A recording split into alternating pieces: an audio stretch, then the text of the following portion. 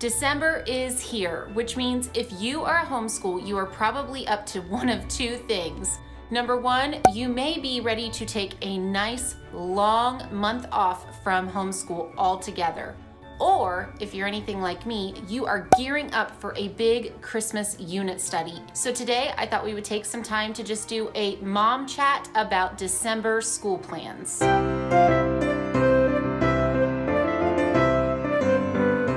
Okay, so I'm sitting here next to my fully decorated Christmas tree and I just want to be really real with you guys. This was just completed last night. The kids and I stayed up really late and, and finished decorating this. It, what you can't see on camera is, is the rest of my house is a total disaster. There are Christmas storage boxes and bins all over the place. You, you cannot see the dining room table because of all of the decorations scattered everywhere.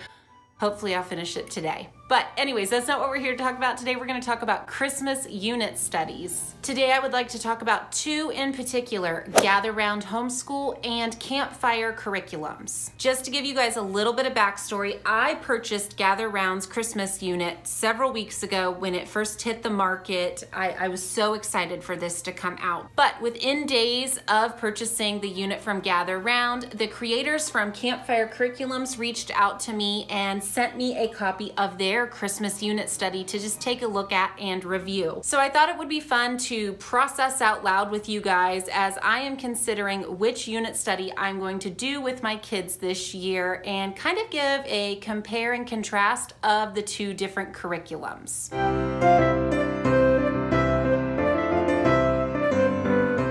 So let's get things started by talking about Gather Round's Christmas unit. Now, Gather Round actually had this unit available. It started last year in 2019, and they have just kind of revamped it and given it an update for 2020. This unit study has 12 lessons. It is meant to be done either 12 days leading up to Christmas, or you could do it four days a week for the three weeks prior to Christmas. As usual, this unit has beautiful, beautiful beautiful illustrations and awesome planning pages in the teacher's guide that are just great if you are just looking for a place to brainstorm and jot down your different ideas of things that you want to do in December with your family. Now, this unit study comes with a plethora of ideas and activities and options for you to do with your kids. Every lesson, you will begin by reading a recitation from the book of Luke with your kids about the Christmas story. And you, you will read this same passage every single day for each of the 12 lessons. And the hope and the goal is, is that by the end of the study, you and your children will probably have this pretty well memorized, be able to, you know, at least paraphrase it pretty easily. There are also weekly Christmas carols or Christmas songs that you can sing or listen to with your kids. This study also gives you recipes that you will be baking as a project with your kids every single week. You'll make sugar cookies, gingerbread cookies, caramel crackers, you know, just it really builds in getting into the kitchen with your kids as part of your schooling. There are also movie suggestions along with discussion guides that go along with each week's lesson plans. I, mean, guys, this is just jam-packed full of Christmas activities and Christmas fun for your kids. Now, that being said, this is meant to be the core of your homeschool for the month of December. This, this is not just something you're going to do for 15 or 20 minutes. This, this is going to take you a couple of hours every day. I know if you're anything like me, baking cookies with my kids can eat up two or three hours very easily. So if you are going to do this curriculum, be prepared that it is going to be the core of your homeschool for the month of December. Okay, so let's just pretend we're going to do a day in the life and do a lesson from from Gather Round. What would that look like? So let's pretend we're doing lesson one about Mary. You would start off the day by sitting down with your kids and praying together and then doing the recitation from Luke chapter 2. You would read the 20 verses aloud about the Christmas story with your kids, maybe take turns, have each of your kids take a turn reading a verse or two. Next, you would read aloud from the teacher guide two or three pages of information about, for this lesson, Mary. Next, each of your kids would open up their own notebook depending on what age they are pre reader, early reader, lower or upper elementary, middle school, high school, that sort of thing. They would all grab their own notebooks and get to work. So, for lesson one, the first thing they will do is work on a gift for Jesus. And this is talked about in the lesson plan, but that they will work on their gift for Jesus. The next page, they will practice that week's Christmas song, which is Away in a Manger. And then the last page, they are going to start working on creating a stable, kind of like a diorama. Depending on how old they are, will definitely guide how detailed or involved this is. If you have a younger child, they may just cut a page out and color it and stand it upright. If you have older kids, they may go out in the yard and get sticks and or clay or other craft materials and, and really make this more involved. Now, this unit study, like all of the ones that come from Gather Round, has an amazing book suggestion list. It has just dozens of books suggestions that you can check out from your local library or purchase to read aloud to your kids. I've even seen some people on the Gather Round Facebook page and the Gather Round app that are wrapping 12 different picture books and letting their kids open up a picture book every single day to read aloud as a family with their Gather Round lesson. So, so fun. All in all, I would say this would probably take you a couple of hours depending on how involved your kids wanted to get in their stable making. Other days may take longer than that because there are baking projects and movies that you're going to watch. So if you're going to sit down and, and watch an entire movie, that's going to take a couple of hours along with whatever it is you're doing in your notebook that day. So I would say on average, I am planning for my family this to take two or three hours every every single day. If you're not familiar with Gather Round and this style of family unit studies, I would definitely point you to their website or to some of my other videos that I've done about Gather Round units.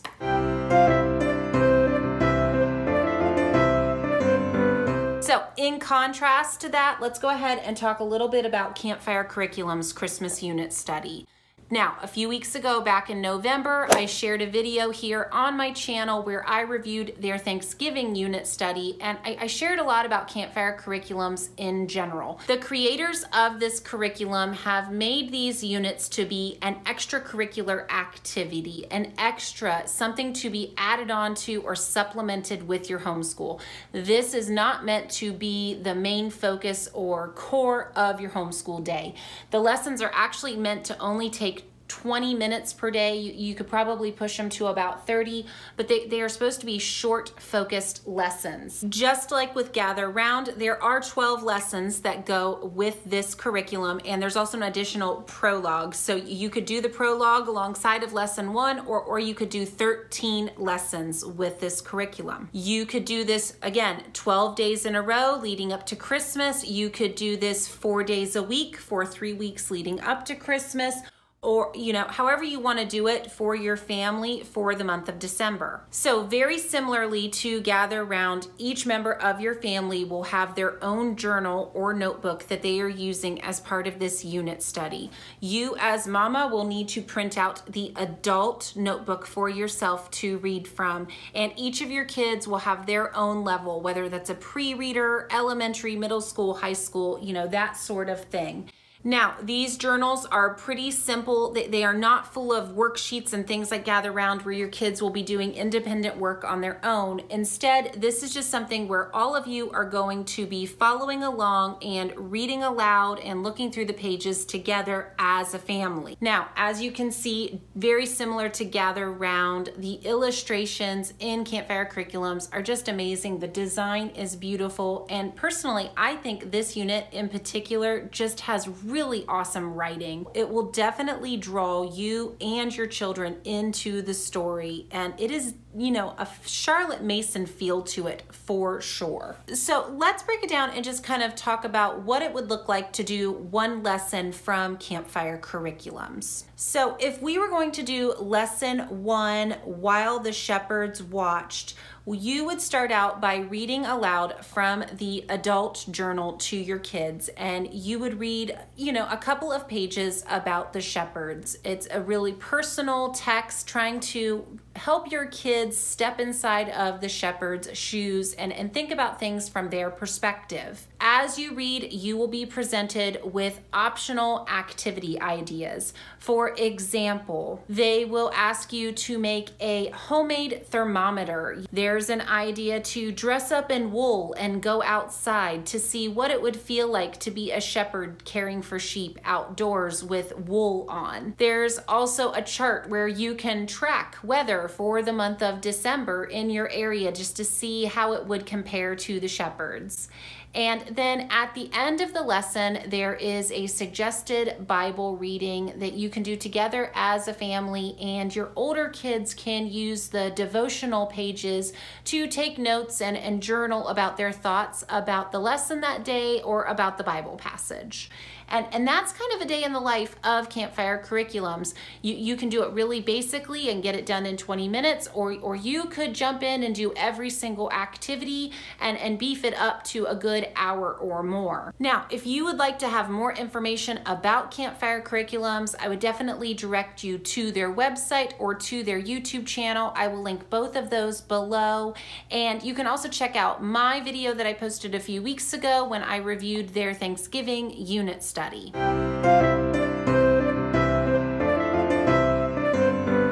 Okay, so how, how do I decide? Do I do gather round? Do I do campfire curriculums? Do I try to tackle both of them? What should you do? Which one's better? Which one's worse? Well, I, have chewed on it for a couple of days and I'm, I'm gonna tell you the different options I have thought through. So option number one would be to do Gather Rounds Christmas Unit Study. This is a great option if you are looking to take a break from most of your other normal schooling, whether you're doing other Gather Round units or just other subjects in general, taking a break from your normal day in and day out of schoolwork to really hone in and focus on Christmas together as a family.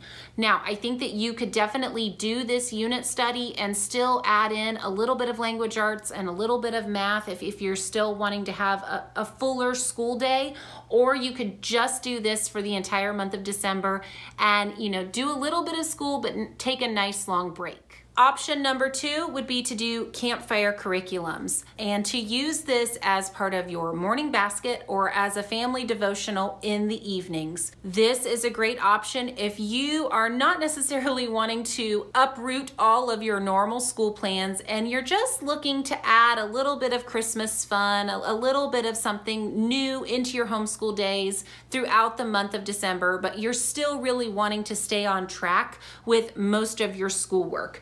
This, this would be a really great option for you because you could do it just, you know, 20 or 30 minutes every single day, still have some really great options for Christmas activities that you could do, but it's definitely a lot less pressure, a little bit more low key.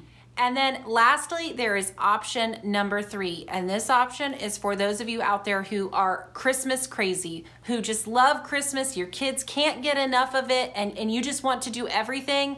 I would definitely say do both. Go for it. In my opinion, that this is very doable. You could do gather round during your normal homeschool hours and replace your other gather round unit studies or other subjects that you're doing. You could still do a little bit of math, still do a little bit of language arts if you wanted to, and just make this your normal homeschool day. And then if you wanted, you could add on campfire curriculum lessons as part of your morning basket time or even in the evenings as part of family devotion emotions. You could try, if you wanted to, to maybe link up some of the lessons. For instance, when you're talking about the wise men and gather round, you could do the lesson about the magi in campfire curriculums. You, could definitely try to pair them up. I, I think that that would be doable. Okay, so I'm sure you're asking, you know, Sarah, what are you gonna do? What are you gonna do with your kids in the month of December? Well, I, am gonna do a little bit of option three. I think we are going to try to tackle both, um, but not completely. I think we will definitely do all of Gather Round, and I think we will supplement with a few of the lessons from Campfire Curriculums, the lesson about St. Nicholas in particular, and I also like the ones about caroling. I think that those will pair really nicely with the songs that we're learning in Gather Round, so I, am definitely planning to do both.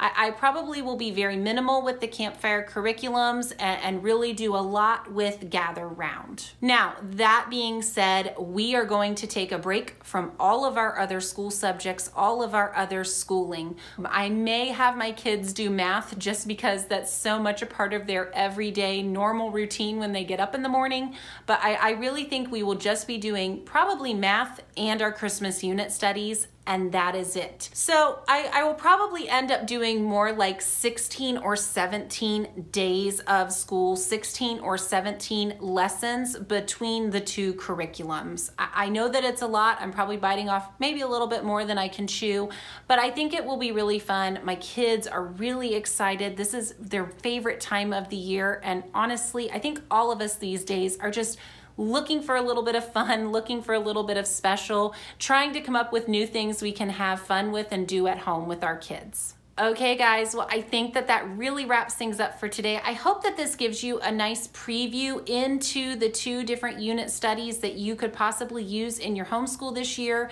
whether that is Gather Round or Campfire curriculums. Honestly, I, ju I just love them both. They are both really great options depending on what your family's needs are this year. Like I said earlier in the video, I will make sure to link Gather Round and Campfire Curriculums information down below.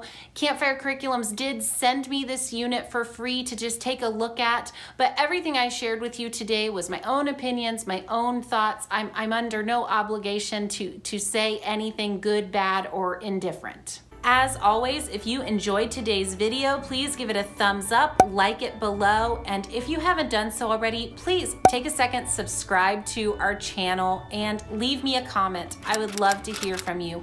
Let me know what your Christmas plans are in your homeschool this year, whether you are going to jump in and be crazy like me and do a couple different unit studies, or whether you're just going to take a nice long vacation and just watch Netflix with your kids. I would love to hear what you are up to. I hope that you all are getting excited and geared up for Christmas in your homeschool and just looking forward to enjoying this holiday season. See you later.